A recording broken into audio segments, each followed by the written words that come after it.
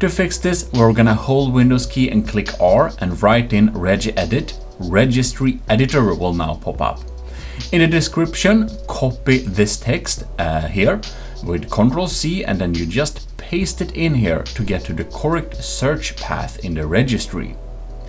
Inside here, uh, you will just copy the other little text there, Ctrl C, and then you will right click and get new. And then we're gonna select DWORD 32-bit value and we'll paste in that text here. Then we'll click enter to uh, save it and click enter again to get up this little editor and we can change the value data to 1 and click OK. This information is taken directly from Microsoft.com, but I pasted it into the description for conveniency.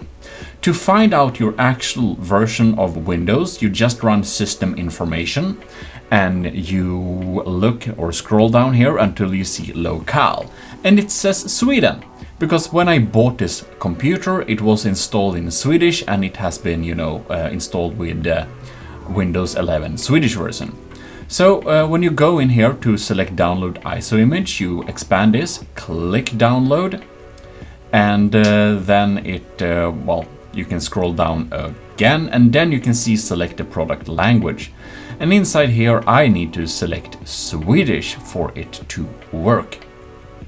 And there we go, and just confirm, and then you can download this little pack.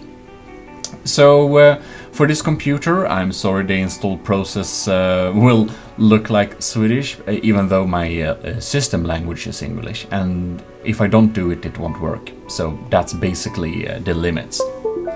And here, um, I've started the file, the ISO file we downloaded, so that we can double click on the setup exe. And here we get install Windows 11. And you want to download updates and drivers. Um, some people say you shouldn't, but you definitely should if you want it to be working.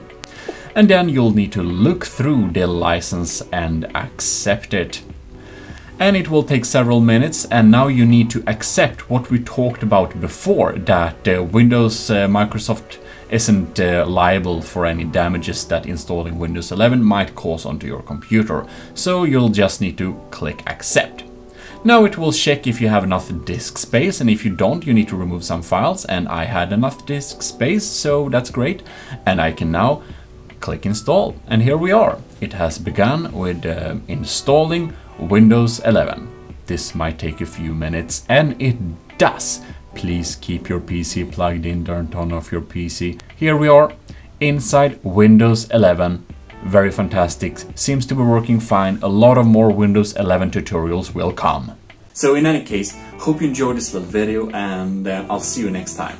This is your host, GMODISM, begging you to like and subscribe, signing out.